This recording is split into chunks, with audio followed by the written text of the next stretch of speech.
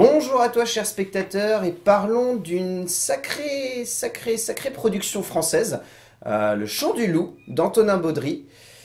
De quoi ça parle? Euh, Sans trop en dire, en gros, on va suivre un sous-marin qui s'appelle le Titan, qui est sur les côtes syriennes en train de s'apprêter à récupérer des nageurs et des militaires qui étaient en OP là-bas.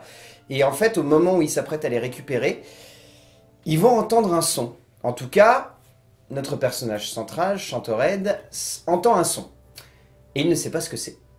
En fait, c'est ça le début du film. J'ai pas envie de vous dire trop ce qui se passe par la suite parce que ça serait vous dévoiler, entre guillemets, tout le contexte qui va se mettre en place. Mais en gros, c'est juste ça. C'est l'histoire d'un sous-marin qui va entendre un son et ils vont essayer de se demander est-ce que c'est un autre sous-marin? Ou est-ce que c'est euh, une créature sous-marine, peut-être un mégalodon, je, je ne sais pas. Peut-être Jason Statham. Petite Jason Statham, ça se trouve. là. Donc ouais, grosse grosse prod. Et pour en parler de cette grosse prod, il me fallait quelqu'un qui n'était pas venu depuis un petit moment sur la chaîne tout de même. Depuis Ouais. d'ailleurs l'un des favoris des prochains Oscars en plus, Black Lensman. Colin. Comment vas-tu Colin? Eh bien, très bien, puisque Black Landsman va tout rafler, donc euh, la vie est belle. Euh, Le Chant du Loup. Alors pour vous donner un contexte, euh, Le Chant du Loup, c'est peut-être l'une des productions les plus casse-gueule que le cinéma français nous a offert depuis un bon petit moment. Pour une simple raison, c'est que les trois grosses boîtes de prod qui s'occupent de produire ce film, vous les connaissez toutes, mais sans le savoir. Pathé Film, Trésor Productions et Shifumi Productions.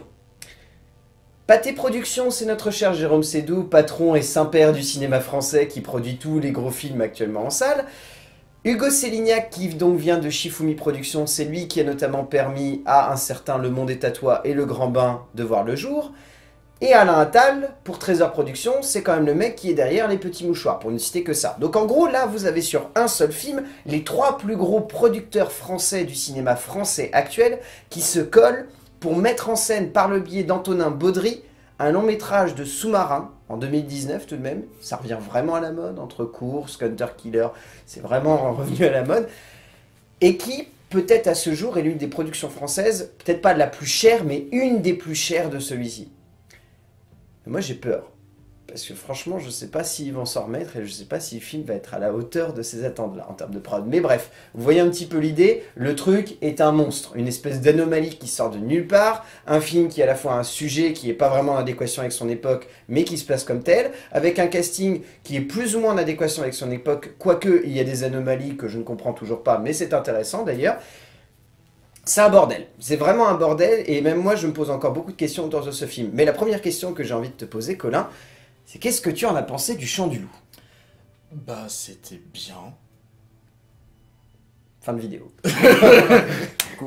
Euh, c'est c'est très intéressant en fait parce que, euh, comme je disais, c'est une énorme prod. Je sais pas s'il a coûté si cher que ça, j'ai pas regardé. Je pense, budget, je mais- sais pas précisément, Enfin, le budget n'a pas été annoncé Ouais, honnêtement. Ça a la gueule d'un film qui a coûté cher, mais je sais pas s'il a coûté. Ça se trouve, euh, ils ont été super économes et euh, System D, en fait, euh, tout le sous-marin a été filmé dans, je ne sais pas. Honnêtement, honnêtement, si c'était le cas, il y aurait eu que Jérôme Sédou qui se serait collé à la prod. Le fait d'avoir les trois, c'est que le film a dû coûter vraiment très cher et qu'ils ont peur d'annoncer le budget du vrai. film. Et puis le, le son a été fait par le Skywalker. ouais, je- Tout à fait. Ça, à mon avis, tout le budget passé par là, tout le Ouais. budget est passé par le choix de Tom Ah, and Dandy à, à la musique, les directeurs de la photo, le choix de Buff à la, euh, aux effets spéciaux. Enfin, c'est- Acteur, son, c'est ce qui a coûté le plus. Ouais, non, non, ouais, non. Mais euh, en fait, le film est très cool à regarder parce qu'il y a une vraie tension qui se dégage euh, tout le long.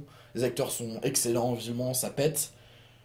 Mais on se dit un peu à la fin, ok, et alors? Et C'est très agréable à suivre, c'est enfin, un bon film, moi je le recommanderais, mais c'est vrai que ça, ça manque un peu de, de biscuit, de, de fond, de, de substance. Pour rester dans le Nantais de Petit Lu. Oui, pour rester dans le mental de petit Lu, oui.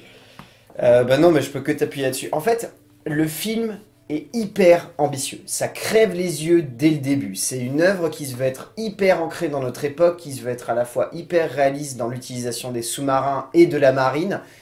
C'est un film qui est démentiel en termes de construction. C'est d'ailleurs un film qui a une subvention très particulière du CNC. C'est-à-dire que ça n'a pas la subvention ordinaire du CNC qui consiste à donner un gros budget ou un petit bout de budget de, retour sur set pour produire un film. Ça a une on va dire, une, une contribution qui se nomme création sonore ou visuelle. C'est-à-dire c'est carrément un département du CNC qui s'occupe d'aider des films qui veulent être des expériences de cinéma, qui veulent être des choses, qui tentent des choses. Il est évident que moi, je n'ai jamais vu une prod du, gabarit de, de Le Chant du Loup dans le cinéma français. C'est la première fois que je vois un film monstrueux comme ça. Mais c'est un film qui est tellement monstrueux qu'il se marche un petit peu sur les pieds constamment. C'est-à-dire que tu as un peu l'impression que Baudry met un pied en avant et que son autre pied, il n'arrive pas à le mettre en avant juste à côté et qu'il le met en avant dessus. Et que constamment, on a l'impression qu'il va se casser la gueule, qu'il va se passer quelque chose où il va pas se relever en fait. Où il va y avoir une bascule ou un élément ou un ensemble d'éléments euh, dra- dramatiques, narratifs, etc. qui vont faire qu'il va se planter. Heureusement, c'est pas complètement le cas. hein. Le film se casse rarement la gueule. C'est juste qu'en sortant, on se dit qu'il y a plein de détails qui peut-être auraient été mieux maîtrisés si le film y avait eu, on va dire, deux trois petits galops d'essai pour Antonin Baudry avant de tout de suite se lancer dans mon premier long métrage, Bah, ça sera Le Chant du Loup. C'est ça en fait, c'est que ça va peut-être gagner d'être un petit peu plus maturé comme Mm. film. Parce que là, c'est vrai que euh, mon premier film, j'ai fait un chant du loup, blam Ouais, Euh, non, c'est euh, ça. Très bien, euh, bon bah. euh, bonne chance Bonne hein, chance. euh, c'est quand même compliqué de faire une prod énorme comme ça dès son premier film, et je pense qu'il y a plein de trucs qui sont difficiles à gérer. Et euh, au final, il- ça donne presque l'impression de s'être concentré plus sur certains aspects, peut-être parce qu'il pouvait pas tout gérer. Oui, c'est ça, préféré, certainement euh, ça, certainement ça. le- ce qu'il estimait être le cœur. Mais il y a quelque chose tout de même dans ce film. Enfin, Oui, c'est ça qui est, c'est ça qui est fort. Il y a, il y, a, il y a une vraie ambition, il y a une vraie démesure, il y a, il y a un rapport avec les personnages qui est la plupart du temps tout de même très bien géré. On va le voir par la suite. En fait, c'est des petits détails, c'est des petits détails sur lesquels on appuie et du coup, on se dit. La vache, le film est finalement, je dirais pas creux, mais il a une belle surface, il a une belle puissance, il a une belle émotion. Mais derrière tout ça, finalement, il y a très peu de choses qui arrivent à faire en sorte que le film euh, se tienne sur la longueur. C'est-à-dire, c'est le genre de film, on va peut-être se redire, je vais le regarder une deuxième fois parce que c'est vraiment hyper puissant et ça m'a pris au trip. Mais peut-être que le deuxième visionnage sera moins fort que le premier visionnage, en fait. C'est typiquement ce genre de film. C'est très possible. Ouais, ouais. Mais je vais essayer, moi, euh, prochainement, quand même, parce que ça m'intrigue. Euh, en termes d'écriture, je te propose qu'on se tous suit dans le bain. Pour ne pas faire de Ah. mauvais jeu de mots avec l'eau, ça va être, ça va être une catastrophe. hein. Abonnez-vous, évidemment. Ça me rappelle Aquaman où on n'a pas arrêté de faire ça. Euh, Antonin Baudry, donc, qui est le seul à écrire ce scénario. Il faut savoir qu'Antonin Baudry, c'est un nom qui vous dit forcément quelque chose parce qu'il a écrit quelques bandes dessinées, mais il y en a une qui est surtout connue, qu'il a écrit sous pseudo, qui s'appelle Quai d'Orsay, qui était réalisé par Bertrand, Bertrand Tavernier il y a maintenant un bon petit moment, je crois une bonne dizaine d'années, si je me plante pas. C'est pas 2012 Quai d'Orsay. Euh, oh, je sais plus. C'était 2000 c'était début des années de 2010. Je sais plus précisément quelle année, mais c'était vraiment, c'était vraiment tout début. Et bah, c'était déjà en fait la démonstration que euh, Antonin Baudry, c'est un mec qui est ancré dans les arcanes de la politique. À la base, c'était un diplomate, et ça crève les yeux que Quai d'Orsay ou Le Chant du Loup, ce sont des films qui sont hyper crédibles en termes de géopolitique et de gestion de euh, la manière avec laquelle il faut rendre crédibles les arcanes du pouvoir. Et là-dessus, c'est très très bien foutu. C'est peut-être un des points les plus forts du scénario d'Antonin Baudry. C'est hyper crédible. Ça c'est clair, enfin qu'on voit, il y a une partie sur... euh, Est-ce que ça compte comme une spoil si je dis qu'il y a Oh. une partie sur Terre? Non, non, non. allez. Il y a une partie sur Terre où on voit beaucoup les rouages de, de comment, ça, comment que ça fonctionne dans la marine. Et euh, c'est... c'est- J'en sais rien, hein, je ne fais pas partie, ça se trouve c'est complètement des conneries, mais ça fait vrai. Ah non, mais ça Et fait finalement, vrai. c'est c'est le plus important, quoi. C'est euh, que ce soit vrai ou pas, je pense qu'on s'en- branle un petit peu. hein, euh. Oui, clairement. Désolé s'il y a des, des gens de la marine qui regardent cette vidéo. euh, mais on s'en branle. voilà. Euh, mais en tout cas, ça y a vraiment, on sort pas du film, quoi. Vraiment, tout est crédible. On se dit tout le temps, ouais, ok, ça, ça pourrait arriver, ça, ça pourrait arriver. Même les éléments qui pourraient paraître les plus. euh, Surréaliste. Parce que clairement, en fait, il y a une bascule qui arrive dans le film, sans vous en dire. On pourrait se dire c'est surréaliste. On pourrait se dire ça fait vraiment nanar à la Roland Emmerich ou euh, comme Hunter Killer. euh, C'est-à-dire, oh mon dieu, euh, l'humanité va toute crever. Et, euh, et en fait, non, parce que Baudry, il arrive à, placer des éléments dramatiques, narratifs, des petits rebondissements qui font qu'on y croit parce que ça va être bête, mais il y a des gestes qui vont être faits par certains, il y a une manière de concevoir l'urgence qui est, qui est fait par d'autres, qui donne vraiment cette sensation que, bah, à la fois, on se doute que ça va arriver un jour, malheureusement, et ça fait un petit peu peur d'ailleurs, et en même temps, on sent qu'on y est préparé. Et là-dessus, c'est très intéressant de voir la manière avec laquelle c'est géré ça. Et, euh, et je trouve que notamment la deuxième partie de film, le vrai lancement entre guillemets de la Mhm. dramaturgie, c'est là que le film gagne en véritable impact et où on se rend compte que la géopolitique, selon Antonin Baudry, est quelque chose qui apporte quelque chose de narratif et Mhm. dramatique au film. Où là, on est euh, pris dedans. Et aussi, en fait, la, la subtilité, c'est qu'il y a quelques éléments qui peuvent paraître un peu fantasques, mais c'est toujours contrebalancé par euh, une espèce de sens de, je vais pas dire de l'anti-spectaculaire, mais de ne pas vouloir en faire trop Terre à terre, peut-être Euh, oui, terre à terre, merci. C'est. euh, enfin, par exemple, euh, je sais pas. euh, imaginons. Bah, par pense- c'est un truc tout bête, mais la séquence où ils essayent d'appeler le président, par exemple. Voilà, par exemple, qui est. Qui est... Qui est, drôle. qui- qui est vraiment très drôle en plus et qui, à mon avis, n'est pas si fausse que ça, ça. et là de qui la arrive à, à bon point parce qu'il y a une grosse charge de tension qui arrive. euh, hein. Et, euh, là, seul on est coup, encore dans a un Vous êtes sur qui- le standard de l'Elysée. Veuillez patienter. Veuillez patienter, le président va bientôt prendre votre appel. Et euh, même au niveau des, des scènes d'action, on va dire ça comme ça, parce que Ouais. Voilà quoi, enfin c'est des sous-marins, au bout d'un moment, euh, on va pas faire des sous-marins qui, qui font des, des 360. euh, Ouais, là par contre là-dessus c'est très crédible, c'est-à-dire que vraiment c'est... Vous allez voir le film, ne vous dites pas que c'est un pur film d'action. Mm. Parlons, partons plutôt sur un film d'aventure à la limite. Mm. Dans le genre vraiment où on a cette exploration sous-marine, on a cette puissance de la grande épopée qui se met en place, mais c'est pas vraiment un film d'action, il y a aucun moment où d'un seul coup il va se passer euh, des bastons avec des torpilles ou euh, où ça va bouger Oui, c'est pas ils vont se balancer 20 000 torpilles par À la limite. La seule séquence d'action qu'il peut y avoir dans le film, c'est au début avec les, ma- avec les, les- les Français qui sont sur Oui. les côtes syriennes et qui vont essayer de rejoindre notre sous-marin. Mm. Là, c'est une partie d'action. Et encore, c'est très vague. C'est ça. Euh, ah, vague. Euh, Et tu On vois, les- non, non, mais il va y en on avoir peut les compter, On peut un les compter, là, on ouais. peut les- On peut les compter, ouais. Et en fait, ce qui est intéressant, du coup, dans le fait que ça désamorce un peu avec euh, donc ce côté très réaliste, dans le fait qu'il y a un impact et c'est fini. euh, y a- Les impacts sont jamais très réalistes aussi. C'est que, du coup, comme on a globalement un truc euh, réaliste, ça excuse les éléments. qui- Enfin, ça excuse. Entre Ça guillemets, cautionne. ça cautionne les éléments qui peuvent paraître euh, abusés, parce que c'est vrai qu'il y a des éléments, si on les prend tels quels sur les films, on se fait n'importe quoi. Oui, c'est ça. Non. Mais euh, en fait, le décor du film est tellement réaliste et c'est tellement bien amené qu'on se dit jamais. euh, En fait, on sort jamais du film. Ouais, voilà, c'est ça. ça. maintient une tension constante. Et comme on est en train de serrer les fesses comme pas possible parce qu'on a peur de ce qui va se passer, euh, on n'arrive pas à se dire. Par exemple, la décision de Marcy, si tu la prends hors de son contexte, on peut trouver ça débile. Oui, complètement. Mais, euh, Mais dans les motivations du film, on se dit vraiment c'est le dernier recours. Oui, euh, il faut il y a absolument que y ça aller faire. Et puis c'est cohérent avec son personnage. Exactement.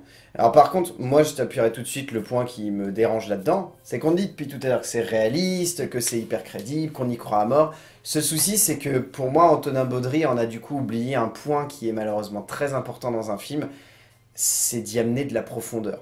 Et en fait, bon, profondeur, voilà, on La l'ajoute à la liste. Euh, c'est qu'en fait, le film a très peu de métaphores ou de réflexions qui vont au-delà du géopolitique et de l'humain. Et encore, l'humain en est très en surface. On en parlera plus dans la mise en scène, dans la manière avec laquelle il met en scène cela. Mais honnêtement, le film a pour seule métaphore une citation en introduction d'Aristote qui dit Il y a trois sortes d'hommes, les vivants, les morts et ceux qui sont en mer. En soi, cette métaphore place d'emblée quelque chose dans le film qui est très intéressant. Le seul souci, c'est que derrière, Bah, je pense que l'idée c'est vraiment de la filer pendant tout le film, mais en fait, euh, le, le truc c'est que c'est. ah, c'est une espèce d'aura en fait que veut se donner Baudry tout du long du film, mais j'ai pas l'impression que ça, que ça ait plus que ça en fait. Tu disais ça, sur ça, je pense qu'effectivement la fin c'est un peu un, un emprunt à Gravity, le côté euh, Ah bah. ressortir de la mer pour. euh, Ah bah là, pour le, Renaître. coup, euh, pour le coup, oui. et même de tiens, Et pour d'ailleurs, je pense personnellement que la séquence de fin inclut plutôt une mort qu'une renaissance, hein, personnellement. Oui. Mais ça, c'est un débat qu'on pourra sortir dans les commentaires. Mais je pense très sincèrement que la séquence de fin évoque plutôt la mort d'un personnage que véritablement sa renaissance. C'est un Bah, la choix. mort, mais- en même temps l'ascension dans notre. Bah, bref, Oui, voilà, il y a plein de... Mais c'est la... le seul moment où en fait on a l'impression qu'il y a un petit peu de métaphore, parce que le reste du temps on a un peu l'impression qu'on est dans le factuel, qu'on est vraiment dans la mise en scène des éléments qui se mettent en place devant nous, et que Baudry il se dit « Oh non, je veux pas apporter plus de métaphores à mon scénario ». Peut-être encore une fois le souci d'avoir un aussi gros projet de base, tu peux pas forcément tout de suite y amener des réflexions et des puissances dramatiques. ça en fait, le truc c'est que c'est tellement terre à terre que du coup il se permet pas de, de, de trucs euh, de visuels ou de mise en Mm. scène qui vont vraiment amener un sens, et ça va plutôt être mettre en image de façon fort stylée ma foi, mais on y Ah bah oui. Euh, ce qui va se passer avec, tu entends, des, des petits, des petits trucs visuels pour mieux raconter l'histoire, pour que ça se passe notamment au début. Mm. Ils font ça très bien. Oui, oui, complètement. Mais euh, il y a. Bah, disais, quoi, ça manque de, de, de substance et. euh, Et après, c'est pas forcément mal, c'est un film de divertissement, après tout, ça, Mm. ça se vend comme ça. Mais euh, on sent que l'ambition, du coup, se pète un peu la gueule. C'est plus. euh, C'est plus par rapport aux ambitions du film que c'est un problème en fait. Ouais, bah Dans oui, le film en lui-même, c'est pas gênant. C'est plus quand tu, Quand tu- te reprojettes ensuite dans le Mm. film, tu te dis ça c'est quand même un peu creux, ça c'est quand même un peu creux. Mm. Mais comme tu l'as dit, et je pense qu'on va enchaîner là-dessus parce que c'est vraiment intéressant, en termes de mise en scène, Antonin Baudry, et je reprends ton expression, ça claque. Ah ouais, ça claque. Ouais, ça claque. Ça claque le là. Et hum, il y a des idées visuelles purement BD. euh, dans un plan avec euh, une couchette et il y a juste la moitié du visage d'un personnage là. Et le reste, c'est la coursive, on voit les gens passer. et Bon, il m'a particulièrement marqué. Ou Oui. des, des plans qui mettent en scène vraiment l'immensité de l'océan où on voit Ouais, des, ouais. des personnages tomber et on se dit putain de merde, ils sont tellement dans la merde. Mais c'est- fort parce que pour moi, il arrive à mettre en scène l'océan comme euh, Quaron met en scène l'espace. hein. C'est-à-dire qu'il y a vraiment des moments où tu te dis waouh, c'est il y, y a le vide en fait. C'est Mm. vraiment autour, il n'y a rien. Mm. C'est-à-dire qu'il ne pourra pas s'en sortir. Et a- c'est. c'est- Ouais, c'est- Et ça me rappeler, mais il n'y a pas un seul animal aussi. il n'y a pas un seul animal de tout film. pas. Et on peut se dire que. On entend vaguement des dauphins à un moment. C'est ça. On entend vaguement des dauphins et on les voit uniquement quand il y a des sous-marins qui rentrent au port. C'est Mm. tout. Je crois que c'est euh, quand le Titan refait surface Oui. euh, au tout début du film. C'est le seul moment où on voit un animal et c'est entre guillemets pour marquer le coup, j'ai Mm. l'impression. Mais euh, après, j'ai un peu peur que ce soit juste des raisons de, de pognon, parce que déjà les plans sous-marins coûtaient cher. Mais ça renforce du coup ce côté océan, milieu hostile où il n'y a, y a pas de vie, même si c'est faux. Pour les hommes, en tout cas, il n'y a, pas de vie, quoi. C'est la mort absolue. Et, euh, Après, c'est l'un des trucs qui contrebalance plutôt bien avec ce que je te disais dans la première partie du scénario où je trouvais que c'était un peu creux, entre guillemets. Là, c'est pour le coup, on peut pas lui enlever ça. Quand il met en scène l'océan et quand Mm. il met en scène les sous-marins dans l'océan, on est dans du cinéma. Là, c'est clairement cinématographique, c'est hyper intense. Notamment cette séquence d'introduction qui, pour moi, est fantastique parce que tu limites le film à la séquence d'introduction, tu te dis, c'est parfait. On est à la fois dans de l'américain et à la fois dans du français, et ça s'assume. Et je veux dire, ce fight contre l'hélicoptère, entre Reda Kateb euh, et lui, il est, il est monstrueux. J'étais vraiment en mode, mais putain, mais c'est- hyper crédible, mais c'est ouf Reda Kateb, en fait, c'est un héros d'action, on savait pas. C'est mais- ça, Reda Kateb, euh, il- c'est le nouveau Wesley Snipes. C'est ça. Reda Kateb dans Black Panther 2, ce sera le méchant. Mais, mais c'est c'est vraiment impressionnant. Il y a vraiment une envie de la part de Baudry de vouloir, euh, de vouloir marquer le coup, en fait. Mm. De se dire, peut-être que mon scénario, il est, trop géopolitique, mais ma mise en scène ne sera pas du factuel. Ça sera vraiment des images qui vont marquer le spectateur, qui vont imprimer des choses où on va se dire, on n'a jamais vu ça dans le cinéma français. Je veux dire, il y a des plans avec des torpilles euh, qui filent dans l'eau dans ce film et qui vont vers des sous-marins, mais c'est vraiment hyper bien mis en scène. Tu as une vraie tension qui se crée et c'est il y a une bonne utilisation du son, il y, a de la, il y a de la tension qui monte constamment en crescendo, il y a une dynamique de montage qui est très juste, qui a tendance à privilégier plutôt la longueur du plan ou les cuts qui sont bien justifiés. Et, il y a une mise en scène, notamment, il y a une scène où à un moment, il y a un des officiers qui est en train de péter un câble et qui va limite foutre tout en l'air Oui. euh, par- parce qu'il veut rester en vie. Je trouve que Baudry met très très bien en scène la folie humaine tout Mm. du long du film, qui met très bien en scène la manière avec laquelle des personnages vont être capables soit d'obéir à des ordres, soit d'aller contre des ordres, Mm. mais pas toujours de manière logique. Et justement, c'est très intéressant de voir ça. Bah, c'est ce que je voulais dire euh, en fait euh, par rapport au début. C'est il arrive à mettre en scène les liens entre les personnages de façon très visuelle et pas purement euh, dialoguée parce que au final il dialoguer c'est ouais fais ça ouais d'accord ouais fais ça ouais d'accord Bah ça c'est Garrett euh, Butler dans Hunter Killer. quoi. c'est ça, genre, donc- Attention les gars, nous allons plonger à 3 nœuds à une vitesse d'à peu près 14 nœuds. Allez c'est parti.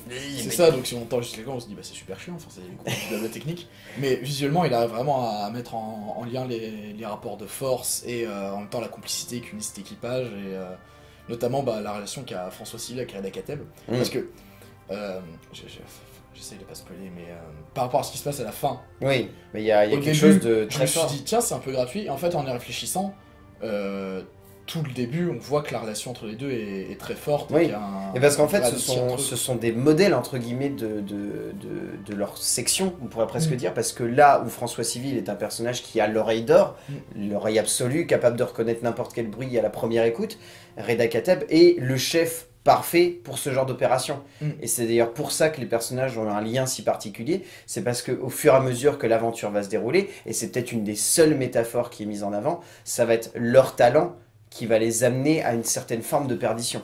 Mm. C'est peut-être une des seules métaphores qui est vraiment présente dans le film et qui est assumée, mais elle est assumée Bah, par le biais du visuel. Si, il y a, du film. il y a l'idée aussi du protocole contre l'humain. hein, Ah bah ça, oui, Dans les, dans les deux, t'as, le, un second qui se bat avec un chef et il y en a un qui défend plutôt euh, faut qu'on fasse comme ça parce qu'il y a le protocole. Et l'autre, qui il est fou. Faut qu'on fasse comme ça parce que sinon on va tous crever.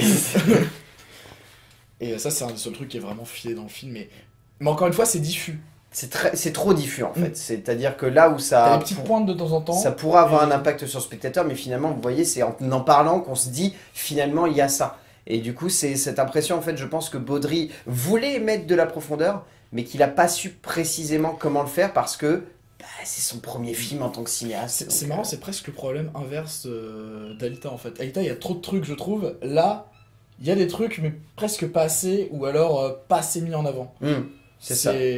C'est pas assez le bordel, j'ai envie de dire. Ouais, c'est presque ça, ouais. C'est pas assez, euh, c'est pas assez assumé dans son côté un peu foutraque et du coup, ça. il va absolument rentrer dans une petite case ou aller Mm. dans une direction claire et ouais, c'est, c'est très étrange. Mm. C'est très étrange.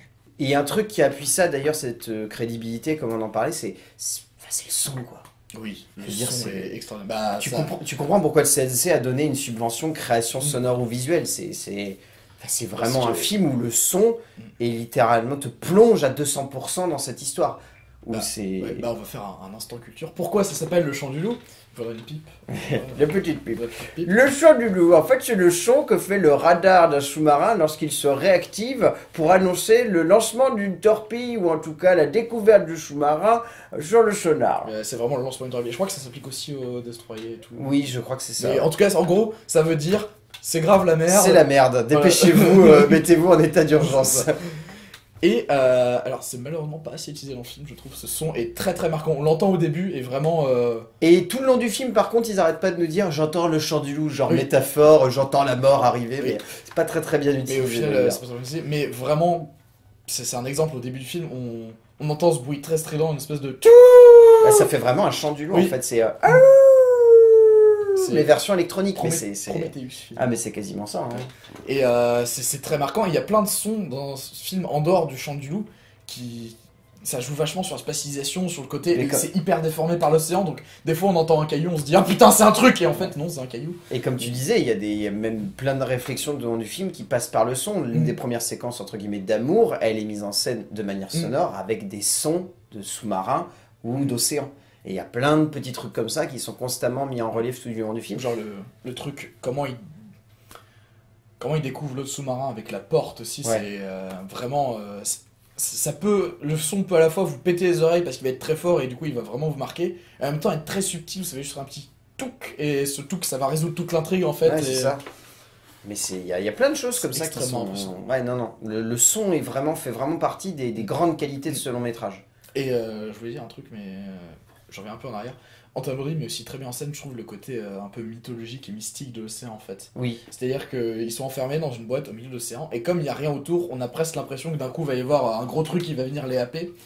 Et euh, je te disais ça quand j'avais vu la première bande-annonce, quand la bande-annonce il n'y avait aucun dialogue à part euh, c'est un sous-marin à quatre pales, mais ça n'existe pas un à n'existe pales. pas. Je me suis dit, ah mais en fait c'est quoi le délire? C'est un monstre marin C'est euh, un. Et en fait, le chant du loup, c'est c'est une créature c'est ça, je me suis Bah oui, en fait, la bande-annonce était assez mystérieuse en fait. Ouais, non, non, la bande-annonce était très mystérieuse. Parce qu'on voyait même pas les torpilles, enfin, on voyait juste les sous-marins partir en couille. J'ai fait, qu'est-ce que c'est que ce Ils se font attaquer par un requin géant euh, Comme quoi. Mm. Comme quoi. Quoi. En fait. Trop de mystère, ça peut amener à plein trop, à trop, à trop plein de ça. questions. C'est c'est très réaliste, mais en même temps, ça joue quand même des fois sur. euh, des fois, on se demande vraiment ce qui est en train de passer et on se dit pas ça va partir en fantastique, mais on se dit. euh, mais- Qu'est-ce qui pourra arriver? Qu'est-ce qui pourrait arriver de, de plus à ces pauvres gens? Ok, enfin oui. Ok, oui. Je te propose qu'on parle du casting qui tout Ah de même oui. est assez euh, imposant Mm. dans le genre. Au-delà de ces quatre acteurs principaux qui sont quand même monstrueux, Mm. mais euh, faut avouer que c'est ce que c'est ce que tu disais un petit peu hier. Au Mm. niveau des acteurs, euh, il y en a vraiment trois qui ressortent réellement parce qu'ils arrivent à imposer leur personnage de manière totale, Mm. c'est-à-dire Reda Kateb, Omar Sy et Mathieu Kassovitz, Mm. qui pourtant, étonnamment, Mathieu Kassovitz, ça fait très longtemps qu'on l'a pas vu dans une grosse prod française. C'était plutôt habitué justement à des petites prods. Et là, le fait de le revoir sur grand écran pour une grosse prod pâtée, c'est quand même vraiment impressionnant. Et est quand même bon quand même. Ouais. J'adore Kassovitz. Ouais. Et c'est marrant parce que Marcy a pas tant de scènes que ça finalement. Non, non, non, mais il est plutôt bien d'ailleurs. Euh, les quelques scènes où il est là, il marque et il a une vraie Mm. prestance. Et euh, c'est notamment, bah, on reste sur le son, ça passe par sa voix. Il a une voix. euh, Bah, il, a, il a une voix très reconnaissable, mais là, il Ah, arrive non. vraiment à donner une, beaucoup d'autorité dans sa voix en fait. Parce que. Spoil incroyable, il est commandant d'un des sous-marins. Voilà. Ouais, voilà. Et, Mais euh, il passe hyper bien en commandant. Et puis, en fait, la vache, la, petite attention, c'est que Baudry a réussi à leur caler des dialogues qui conviennent vraiment bien à leur Mm. personnage. C'est-à-dire Mm. qu'Omar Sy a tendance à être un petit peu le beau parleur qui en rajoute un petit peu Mm. trop. Reda Kateb, c'est le mec qui suit vraiment les ordres à la lettre. Qui Mathieu Kassovitz, c'est. euh, Mathieu Kassovitz, c'est l'officier qui a constamment euh, peur que que- qu'il y a un souci. Enfin, c'est Mm. c'est vraiment bien foutu. J'aime beaucoup aussi Paula Beer qui joue donc le rôle de Diane sur Ouais, Terre. Qui... Moi, je l'aime Elle bien. a pas beaucoup de choses à Elle a pas beaucoup de choses, mais du coup, je trouve que sa présence, euh, comme on disait, euh, il y a un love interest dans le film, et moi, je trouve que le love interest justifie le fait que le personnage de François Civil soit pas très profond, même si, entre guillemets, il est supposé incarner euh, l'immersion pour le spectateur. Mais Mm. je trouve qu'il est pas très profond, et son, sa performance à Paul Abir donne vraiment une incidence sur les actes qui vont suivre, où on se dit, ça serait quand même bien qu'il rentre sur Terre pour la retrouver. Et, euh, et c'est pour ça que je trouve son interprétation vraiment bien, tu vois. Oui, oui, non, mais elle est bien, mais je- Bah, elle Je est trouve pas assez, est pas euh, assez présente de toute façon pour vraiment s'imposer. Mais euh, et puis il y a François Civil. Mm. Pour moi, c'est un très bon choix. Après, le seul souci, c'est que son personnage n'est pas très profond et qu'on sent qu'il y a des moments où il galère un petit peu à le rendre vraiment fort. Bah, il. Je pense qu'il était censé être profond, mais effectivement, je me suis dit, oui, il était profond, mais c'est plus technique. Que, Oui, c'est ça. que- ça se ressent pas vraiment en fait. C'est au final, moi j'ai galéré euh, à la fin du film en me disant, mais au final, il, il a pas d'art quoi, genre il a fait ça. Mais c'est vrai, c'est vrai qu'on a plus l'impression qu'il sert de véhicule émotionnel pour le spectateur afin Mm. de se plonger dans cette aventure que véritablement de personnage pour lequel on va ressentir une vraie peur. Contrairement Et- à Kateb qui fait passer beaucoup de. qui a Ah, vraiment un arc de personnage assez énorme et qui fait passer beaucoup de choses de façon très subtile, notamment euh, à, à la fin, euh, l'expression qu'il a au moment Bah, de- tout, toutes les, toute façon, ça. toute la manière avec laquelle il, il joue la deuxième partie du film, Mm. c'est vraiment impressionnant parce qu'on sent qu'il y a à la fois du doute et Mm. en même temps. Pour moi, c'est le meilleur acteur de tout le film, Reda Kateb. hein. Je suis d'accord avec toi, Colin. C'est vraiment l'acteur C'est qui. depuis qu'il a eu son cerf pour son rôle, j'ai l'impression qu'il explose. Ah bah, il explose et il joue partout et il en impose quoi. C'est excellent parce qu'il a vraiment un charisme énorme et euh, j'adore le, le voir. Et Ah, non, non, là, mais- il a un rôle qui. Et puis il a une gueule de cinoche. Ouais. Moi, c'est ça ce que je trouve être le plus impressionnant. Ouais, ouais, non, non, non. Et Kassovitz, c'est très bien. Et Kassovitz, c'est très bien aussi. Et pareil, il impose une autorité. et C'est fucking Kassovitz après tout. Oh que oui. Mm. Ce ne sont pas nos amis, ce sont des marins sous armes de tir. Alors, si, hein, je pense qu'il y a un autre acteur qui m'a marqué, c'est. euh, alors, j'ai pas du tout son nom, et j'en suis désolé. Si tu regardes cette vidéo, désolé. C'est celui qui joue le Euh, second le euh, second chez Reda de Reda Kateb. Kateb, ouais. Ouais, c'est ça. C'est. Et ben, je crois que je n'ai pas son nom. Voilà. Pareil, qui est, qui est un. qui a pas forcément un personnage énorme, qui c'est vraiment un archétype, hein, mais. euh, il est très bien dans son rôle, il, il arrive à, à- Je vais pas dire à tirer tête à Adekateb, mais. euh, Mais il a quelque chose. Il a quelque chose, ouais, il dégage vraiment quelque chose et on se dit. euh, Il y a des scènes où il y a des mini-scènes d'engueulade avec Reda Kateb et ça fait pas. On se dit pas putain, Reda Kateb va le bouffer. On, on sent vraiment le conflit entre les deux et on, on y croit quoi.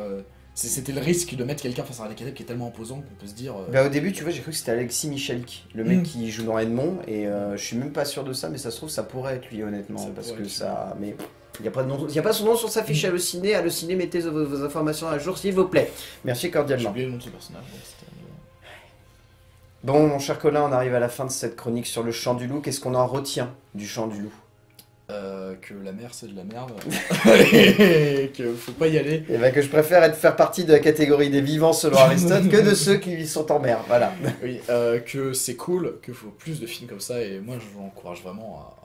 Je vais pas dire à l'encourager parce que je pense que le film a des chances de marcher parce que Le film grosse- va marcher. Le film va marcher. très grosse campagne de promo. Ouais, Les non, bandes non. annonces, je tiens à le dire pour une fois, sont excellentes.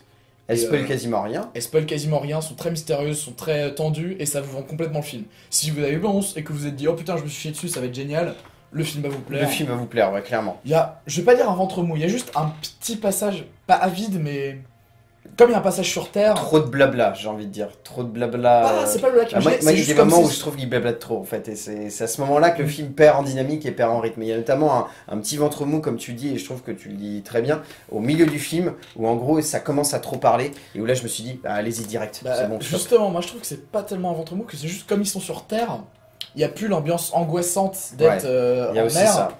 Et du coup, il se passe quand même des trucs quand ils sont sur Terre, mais on est juste ouais, ouais. Ouais, ouais, ouais, ouais. ouais. Alors qu'il y a des enjeux énormes, hein, mais on est en mode oh ça va.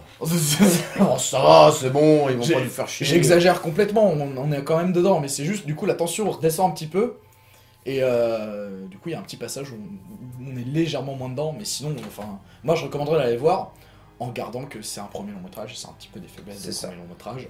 Et je trouve que c'est un peu dommage, mais euh, on va pas, on va pas cracher dans la soupe. Finalement. Oh que oui, On oh que non, euh, oh que non. chercher une métaphore marine, mais j'en ai pas. Ouais, non, mais je suis d'accord avec toi. En fait, le plus gros souci de ce film, c'est qu'Antonin Baudry, on sent qu'il était. bah, il a dû être un petit peu perdu, le pauvre, je pense. hein. Il n'a pas dû totalement maîtriser le projet. Et, euh, Mais ça reste un film qui est très ambitieux, qui est à la hauteur de ses ambitions, qui manque peut-être un petit peu de profondeur et de justification, entre guillemets, euh, euh, réflexive et métaphorique. Mais euh, c'est peut-être juste, honnêtement, le fait de placer cette métaphore d'Aristote au début du film. C'est pas obligatoire. Et je pense que si Bah, ça. C'est vrai que s'il avait été pas, on n'aurait peut-être pas cherché, Ouais, c'est on aurait peut-être ça. été, bah, En fait, c'est ça le souci, c'est que c'est un film qui veut s'intellectualiser sans avoir besoin de s'intellectualiser parce que le côté géopolitique arrive très bien à lui seul à rendre le film intelligent et à rendre le film personnel. Je pense à partir de ce moment-là, voilà, entre ce qu'Antonin, entre ce que Colin a dit, euh, ce que Antonin fait et ce que moi je dis, on est d'accord pour vous dire que Le Chant du Loup d'Antonin Baudry est un film qu'il faut aller voir. Moi, je ne pense pas que c'est un film qu'on a besoin de soutenir parce qu'entre guillemets, c'est un film qui entre guillemets, fait partie aujourd'hui du paysage culturel français et démontre bien qu'il y a des auteurs qui veulent apporter un petit peu plus de force au cinéma grand public. Et à partir de ce moment-là, je pense que le film va forcément marcher parce qu'au vu de la distribution, au vu des producteurs qu'il y a derrière, ils vont forcément tout faire pour nous marteler à la gueule qu'il faut aller voir le chant du loup. Et, au niveau du, du casting, c'est quand même très bien pensé parce que Ouais, c'est vrai que Mathieu Kassovitz, il a parfois un peu une image de. D'anticonformiste. d'anticonformiste et de, de, de, on va dire comme Voilà, ça. allez, déjà. Beaucoup mettons-le. Kassovitz, hein, mais, mais, mais de chieur et que certains gens euh, l'aiment pas trop, donc qui porte un film sur l'épaule, on peut se dire ah c'est compliqué. Reda Kateb, ça reste un peu, même s'il commence à se faire connaître, ça reste un peu une figure longue. Avoir Omar Sy au milieu de là-dedans, c'est très bien. Je pense qu'il y a plein de gens qui vont se faire oh très bien Omar, Ouais. on va rigoler. euh. Non, mais- Ah, non, non, non, non, non, je vous Raté pas trop, pas trop, trop. Mais voilà, Colin et moi on est d'accord, Le Chant du Loup d'Antonin Baudry, faut le voir, c'est vraiment bien et c'est du très bon cinéma français. Merci Colin d'avoir participé à cette petite vidéo. En espérant que la prochaine ne soit pas dans 6 mois, à nouveau. Vrai. et euh, que la prochaine, il n'y ait pas euh, de loup. Il n'y a pas de loup. Bon. Je te rappellerai uniquement s'il y a un loup en fait. Ah. Ça va être décrété maintenant. Colin ne viendra que s'il y a un loup dans le film. Comme d'habitude, on va dire aux gens d'aller voir des films parce que c'est bien d'aller voir des films et on se retrouvera pour parler de films, bien évidemment. A plus. À plus.